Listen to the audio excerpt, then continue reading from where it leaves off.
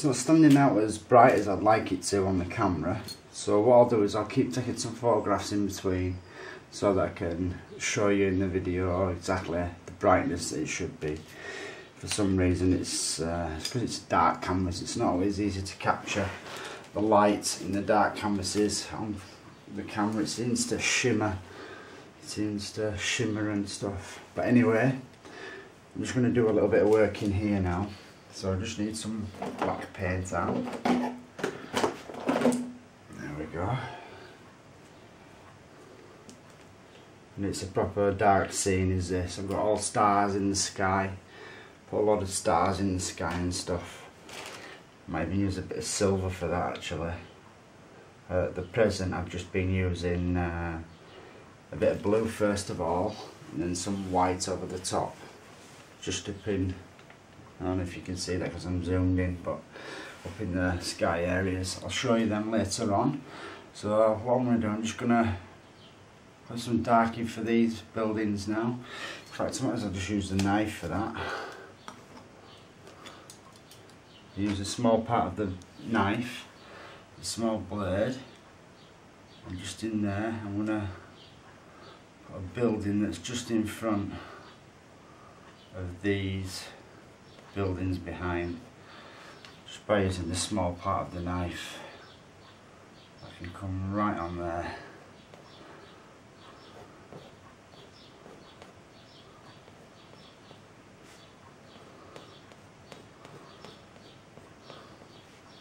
So I'm going to show you a little bit of how I've been doing the lights and stuff. You can see sort of see the reflections that I've done when I take the photographs they'll really stand out nicely for you because I can see them perfectly here and they really are nice and vibrant these colours. Uh, so just simply get some like yellows, bright yellows mix them with a tiny bit of titanium white so yellow and white together. And with that just come up in here in these areas and just painting some lights, bright lights and stuff. So that in these darker areas, like there's a few buildings and stuff like that. And then you use some of that colour down here in the water and then you just use your finger and just pull down. Do it twice, start there, pull down and pull again. Gives you little lights in the water. Also, just up in where these uh, buildings are here, just going to get a bit of red out on the palette I'm running out.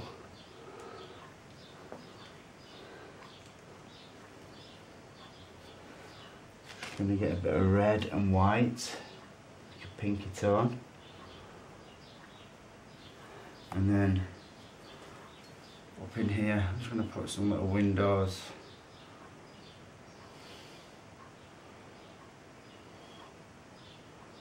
Just a few here and there. Just little details. Also I want to use some of that purple and pink. I just want a bit of that on top of there, just on top of there. And a little bit more just there. Just create these things. Billboards and stuff, you know. Advertising halls.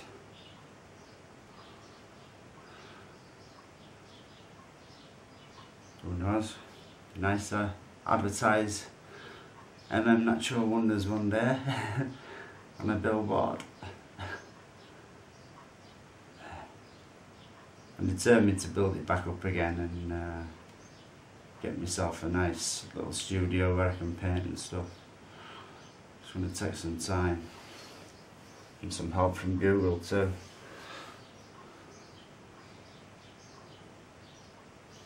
As I was saying before, this whole idea of this is all in dedication to Nikolai Tesla, the man who created all of our modern electric electrical system. The AC power grid.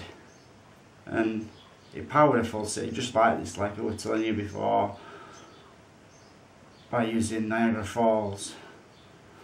So he created a revolutionary new way of making a motor and the way he did it was an alternating current so that basically he could have giant alternators in the bit uh, at the top of Niagara Falls which were basically what he used to power all of the lights and everything in the city. It was a competition I think that he were in and he won the right to do that over Thomas Edison. He invented Thomas Edison, so that was a big feat in itself. But this man never got recognised for all the good things that he did. He ended up dying in a hotel lonely, feeding pigeons. It's a real shame to be honest. Right then, so I'm happy with what I've got there now. I'm just going to put some lights into the water so for that I need to zoom out a little bit let me just have a look see how it looks on camera yeah I'm going to put some more stuff down in there still but I'm not too fussed about that that's fine right so if I pull it out get it so you can see a good stretch of water and then I can zoom out so you can see what I'm doing there Right, so we get a one inch brush, oh, a little one inch brush here. And I've got some linseed oil, purified linseed oil. Now this part of the canvas is still dry. All of this is dry. I pulled all these reflections down while it were dry, just using my finger so I'm just going to get a bit of this linseed oil, put a tiny bit of that on the brush, and what I've just put on the brush will probably be enough to do the whole thing. You really don't need a lot of it. So you just scrub it in, I'll start on the right, because you guys can't see that. Starting here, and touch up into them areas a little bit where I put the the bits of colour. Just go over that a little bit. Try not to destroy it too much. So you can just pull down with it.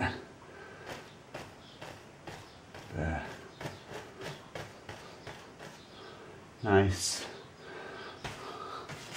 Yeah, scrub it in right into the canvas so there's not one area that you miss. Don't miss any areas whatsoever and this will make it slip, slick and slide make it slip and slide really nicely for when you want to do these big reflections for all the colour of the city into the water. So just put linseed oil all over that part of the canvas so it's slick and wet. There we go. Like I say, what I put on there was enough to do the whole lot. This whole area just gonna keep scrubbing it in. There's a long, long way does that linseed oil. And it'll last you for a long time. Purified linseed oil. Rather, I'd rather use that than the uh, Bob Ross medium, which is liquid clear. I tend to find it's a little bit thick and gloopy in comparison to linseed oil. Linseed oil seems a lot cleaner, a lot fresher. Right, so it's all over the bottom area there now. And now I just pull up and tap into them areas of, of that too, where I put those reflections down there in the water.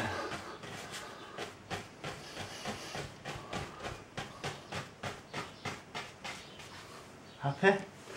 Right, so get a paper towel and I will dry off the brush. So I'm going to use this same brush and then I'm going to get some colours out on the, well I've already got some colours out on the canvas, I'm just going to get some silvers, got some blues out, uh, reds, so I'm going to get a bit of white, put it near each colour, so I can mix it with it. Uh, where's the, got some greens there, I've got the red there and the yellows. Right, so first of all I'm going to mix a blue. So that's ultramarine blue, titanium white in there. So I'm going to find the blue buildings and uh, reflect the light down into the water. So we've got also these lights in here where I'm pulling the colours down. I'm going to put some big like blue lights and stuff like that that's going on. So just where that is there. In fact I want a bit more of the blue. Uh, just down there I'm just going to pull a bit of that colour. Just pull a bit of it into there. Pull it down. Don't pull it too far uh, now wherever you've got the blues, do that same thing. Pull a bit of that blue down into the water. Same where they are. Pull some blues down into the water there. Don't pull them too low though, because like I say, we're going to use a, a bigger brush. Come back in with a bigger brush anyway to blend these out nice and soft. Some blues just in there. A bit darker blue that. See it just up there. Put that bit of that in there. Same for that little building that's there. So I'm just putting it in really rough at the moment. Wherever I'm seeing a bit of blue, pulling a bit of that down into the water. A Bit of blue there, darker blue again a bit down in there for that. Got some green lights going on there. So while I've got the blue on the brush, I'm just going to a bit of yellow and some green. a bit of white into that. So yellow, green and white create a lovely vibrant green for these lights. I'm just going to pull down it's a bit off, is that? It's not what I'm after. That's better. Something like that. Got that yellow building, so a bit of yellow. Let's do some yellows in there. Yeah, something like that. Nice. Another yellow building there. Bits light, some of these lights as well, which we've got in here they'll stretch out some of the reflections down into the water. So put some of them in too it's just varying all these colours. Love it. Nice. Right so I'm going to go into reds now with a tiny bit of white to it. Red with a tiny bit of white and then where we've got these buildings that are red. It's probably a bit too white I get a bit more red. There it's better.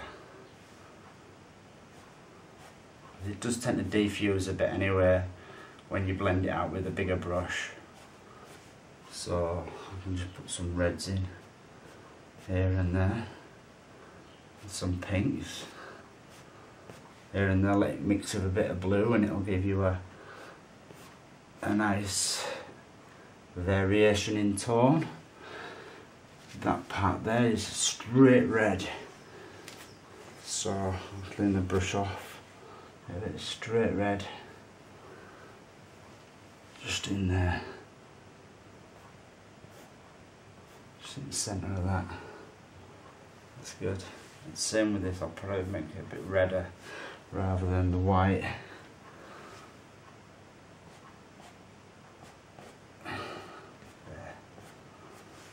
That's it. Now just be patient with this, there's no big rush. Steady away with it. Because the effects only come when you start blending. Right. Clean that off completely. I want to get some yellow. So that turns it a bit orangey.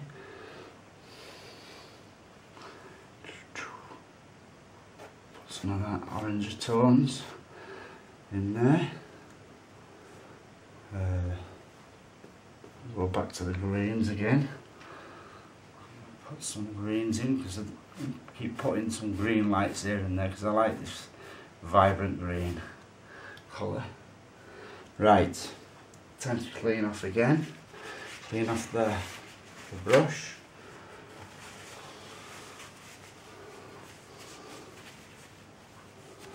And then in here I've got the silver. So probably a good idea to get rid of that red that's in there already by going into silver and just tapping it out. And then I've got a clean enough brush for the job. And where that is I'm going to pull some reflections down for it. I want these to be really quite bright so I can even add the tiniest amount of white to it.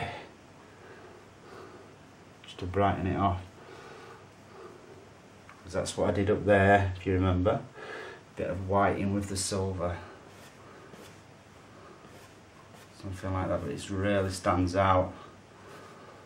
And you don't want to do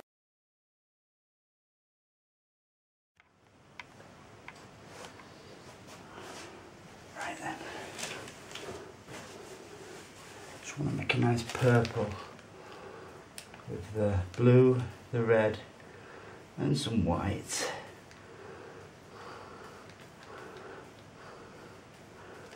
there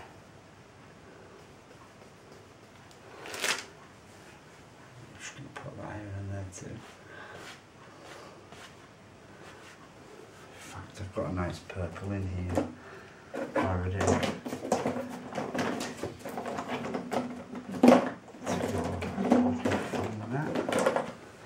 Yeah. So we'll just change a couple of these. I want a couple of purple ones in, I know that for sure. So can mix a bit of that colour there with that to the mauve side. Beautiful colour.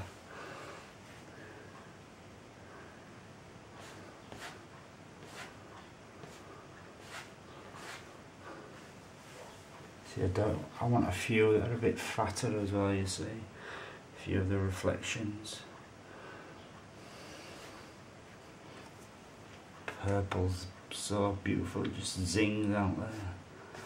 See that? Ah, so vibrant. Just works a. It really does. Straight red. It's quite a bright red up there. Just again makes it zing nicely. Right, so I can go back to this brush now. It's got blue on it, but it shouldn't matter. I'm going to go into silver. With that silver, I'm going to reintroduce, oops, the silver for this.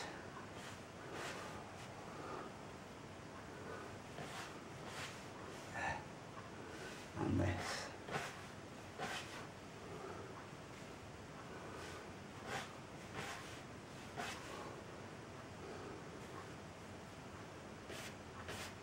silver there for that one. I don't want it to be as thin you see near as I had them. When you're pulling them down I want to make them a bit wider. So that, just helps.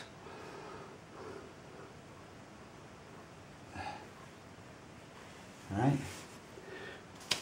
I'm going to go back to this brush here and give it one last blend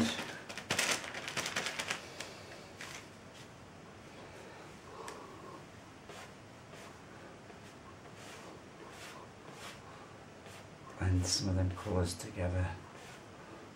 So beautiful though and vibrant these colours, it's just zings. All thanks to Nikolai Tesla, the amazing inventor. Like I say, look him up on YouTube. There's plenty of videos about him. He's quite uh, well known now as people have started started raving about him basically because they found out how important he has been in our present day. Most of our pleasures and stuff that we don't appreciate anymore are down to him. There. I'm happy with that. And then I need a, a totally clean brush now.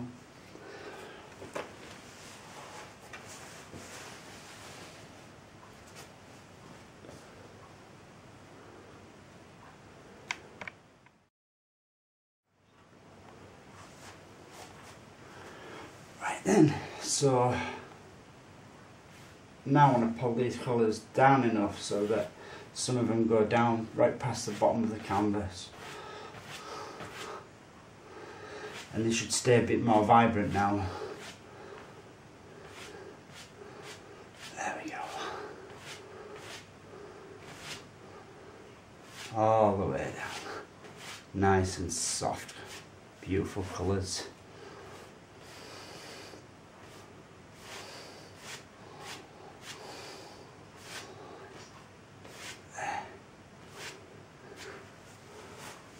Leave some of these dark completely alone. Don't touch them at all. And then the vibrant colours that you've put in will really stand out.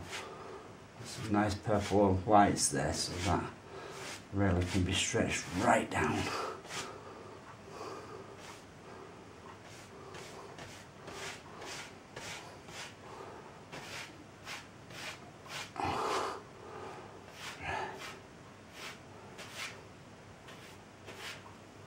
Nice one. Just going to tap that out again on the newspaper just to clean it off. And then very gently I'm going to come across all of it, just like that, just to make it look soft and wet.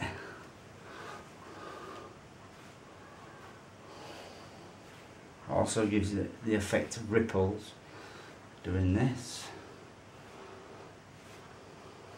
If you're looking really close, it uh, drags a few of the colours across, which is what you want.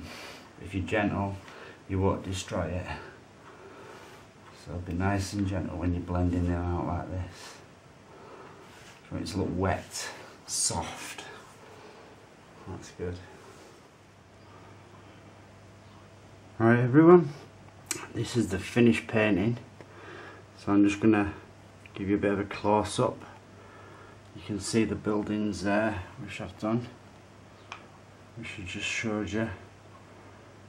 Tidied them up a bit from before. Just neatening up the edges and putting the lights in for the wind you know when lights in the windows.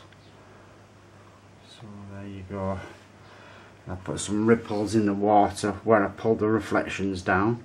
I used a clean fan brush create some ripples and then I've put some bits of dark into them ripples. And it creates a lovely wobbly effect on the reflections. Sorry about the light it's hard to get it so it doesn't glimmer off. But there you go you can see them a bit closer now. But it's a bustling metropolis. Just full of life not really normally keen on trying to avoid cities. Too busy and I'll show you the stars that I put in the sky too. See the stars at the top? It's hard to get it with the light but you can you can see and make out there where I put the stars in to the sky. I might put a couple a little bit lower in the sky as well but that's okay for now Right, so I'm going to try and get a good zoom away so that you can see it all without that light glimmering on it. There you go. So, thank you Nikolai Tesla for everything that you've given to us all. This is your tribute. Hope he's looking down from above and enjoying what I've done. So there you go everybody. Take care and I will see you all again soon.